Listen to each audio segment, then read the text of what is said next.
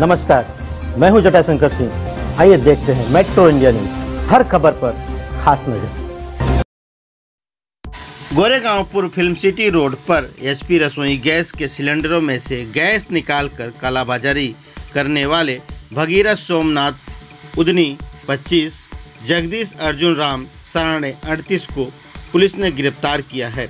यह दोनों आरोपी मलाड की एचपी गैस एजेंसी की सप्लाई करने वाली गार्गी गैस सर्विस में डिलीवरी मैन के रूप में कार्य कर रहे थे। यह देखिए यही टेंपो है जिसमें आरोपी गैस लाद कर जाते थे और उसमें से सील तोड़कर गैस का दूसरे खाली बॉटल में दो किलो तीन किलो गैस निकालकर इस तरह से कालाबाजारी करते थे।